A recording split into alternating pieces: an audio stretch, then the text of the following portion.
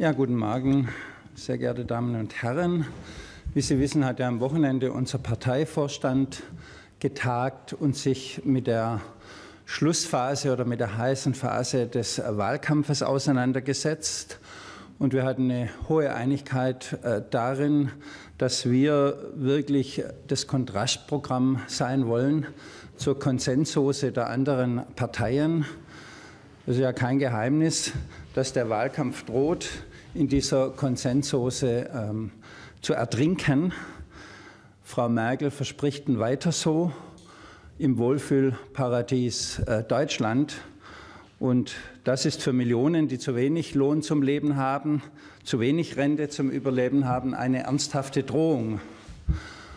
Und die Opposition, insbesondere die SPD und die Grünen, kommen irgendwie nicht richtig in die äh, Puschen, weil sie einfach kein glaubwürdiges Kontrast, Kontrastprogramm zur Politik von Frau Merkel vertreten. Oder immer dann, wenn sie den Versuch machen, ein Thema hochzubringen, stellt sich heraus, dass sie selber mit verwickelt waren oder selber sogar die Verursacher äh, dieses äh, Themas oder dieses Problems waren, wie jetzt zum Beispiel bei der Bahn oder bei der NSE-Affäre.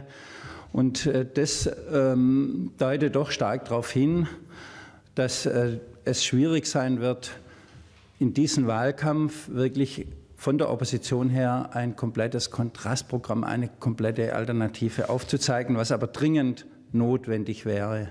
Jetzt hat sich am Wochenende die SPD auch noch vorzeitig vor ihrem Wahlziel verabschiedet und diskutiert ganz offenkundig in immer größerem Umfeld die Option einer großen Koalition. Anders kann man die Einlassungen aus dem SPD-Umfeld gar nicht mehr bewerten. Die Steuererhöhungen für hohe Einkommen werden im Zickzackkurs kassiert, was nichts anderes bedeutet. Man traut sich nicht an die Reichen und Vermögenden hin und versperrt sich selber alle Reformspielräume für eine Politik der sozialen Gerechtigkeit. Und in der Eurokrise selbst wird offen auf Merkel-Kurs eingeschwenkt und ein Schuldenschnitt ausgeschlossen. Und selbst Frau Merkel schwadroniert offen am Wochenende über eine große Koalition, sodass man sich irgendwo im stillen Kämmerlein schon fragt, werden da eigentlich schon Gespräche darüber geführt. Bei den Grünen und der FDP ist man offenkundig noch starr vor Schreck, weil sich Union und SPD doch so trefflich zum Schattenboxen verabredet haben. Und einige bringen dann schon die Option Schwarz-Grün stärker ins Spiel. Wir waren uns im Vorstand einig, dass die Linke die Partei sein will, die in der Schlussphase des Wahlkampfes ähm, den Unterschied zu allen anderen Parteien ausmacht. Wir wollen den Wahlkampf spannend machen. Das sind einerseits die Themen, die wir bearbeiten, dass wir in den Wahlkampf offensiv einbringen, dass wir uns eben nicht im Wohlfühlparadies Deutschland befinden, sondern es Millionen Menschen nicht gut geht, Millionen Menschen nicht gut durch die Krise gekommen sind und dass wir diejenigen sind, die sagen, wir müssen hier mehr Gerechtigkeit, mehr Einkommensgleichheit wagen. Das haben wir erneut am Wochenende mit einem Beschluss zementiert zur Frage der Einkommensgerechtigkeit. Wir haben einerseits definiert, was sittenwidrige Löhne sind und uns erneut für ein Verbot sittenwidriger Löhne ausgesprochen. Sittenwidrige Löhne bedeutet für uns, dass die Menschen nicht unterhalb des Niveaus fallen dürfen, wo sie nicht davon leben können. Es muss das ganz klare Ziel sein, dass jeder so viel verdient, dass er nicht ergänzend zum Sozialamt gehen äh, äh muss. Und das sind für uns 1700 Euro brutto im Monat. Gleichzeitig haben wir auch definiert, was für uns sittenwidrige Höchstlöhne sind und äh, haben nochmal bestärkt, dass sittenwidrig ein Lohn ist, der mehr als das 20-fache des niedrigsten Lohnes in einem Unternehmen ausmacht. Nach heutigem Stand sind es ungefähr 40.000 Euro im Monat. Und wir äh, bestärken nochmal, dass wir auch unmittelbar nach der Bundestagswahl zu diesem Thema eine gesellschaftliche Initiative starten wollen. Wir wollen klare Untergrenzen einziehen, unter die kein Lohn fallen darf. Und es muss das erklärte Ziel sein, Niemand, der arbeiten geht in Vollzeit, muss zum Sozialamt gehen. Wir machen den Unterschied aus in diesem Wahlkampf, weil wir auch das Rennen spannend machen. Wir kämpfen bis zum letzten Tag um eine andere Mehrheit, um die Ablösung von Schwarz-Gelb. Und alle können versichert sein, die Linke wird alles tun, aber niemals Angela Merkel zur Kanzlerin wählen.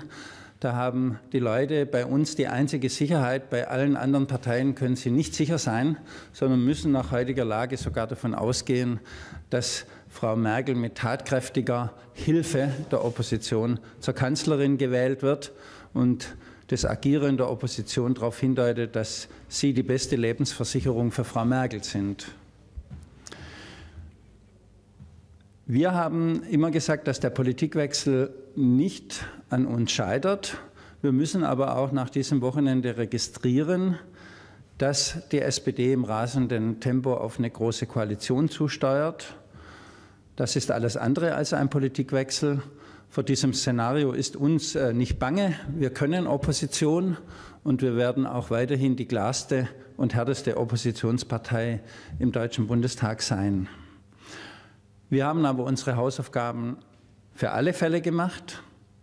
Ich darf Ihnen ankündigen, dass die Führungsspitzen der Partei aus Bund und Ländern am 9. September zu einem Parteikonvent zusammenkommen, um den Schlusssport gemeinsam einzuleiten und sich über die politischen Leitlinien für den Start in die neue Legislaturperiode zu verständigen.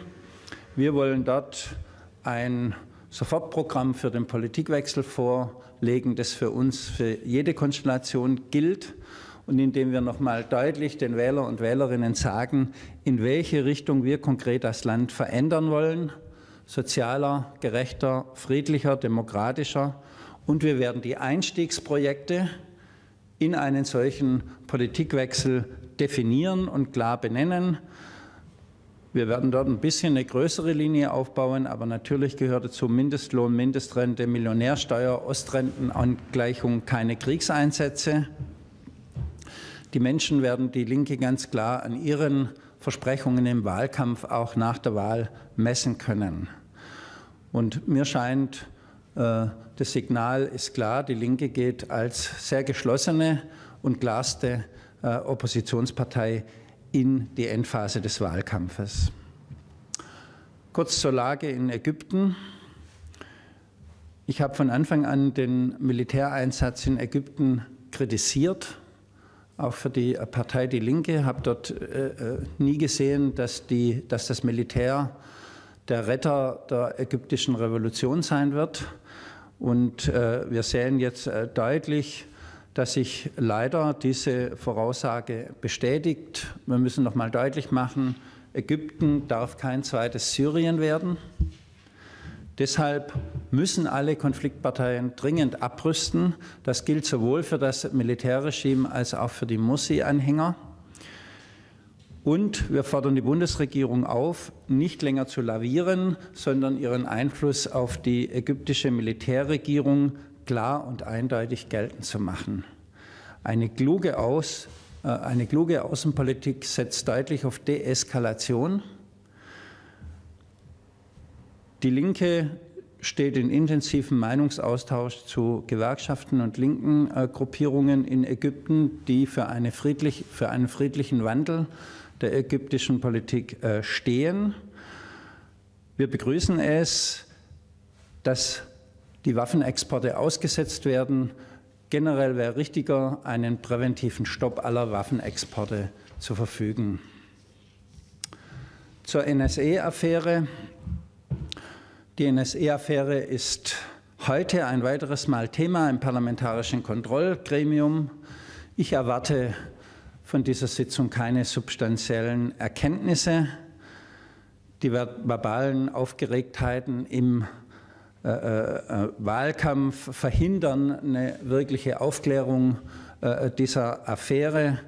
Wirkliche Aufklärung wird erst ein parlamentarischer Geheimdienstuntersuchungsausschuss bringen können, den wir unmittelbar noch in diesem Jahr im Deutschen Bundestag beantragen werden. Ich habe schon mal betont und möchte das wiederholen, dass beide Chefaufklärer, sowohl Herr Pofalla als auch Herr Obermann, ähm, in ihrem Amt äh, überfordert sind und ihrem, ihrer Aufgabe nicht gerecht werden. Beide tragen vor allen Dingen die Jacke des Wahlkämpfers und beide agieren nicht wie Aufklärer, sondern wie Generalsekretäre. Der eine redet zu viel und der andere zu wenig.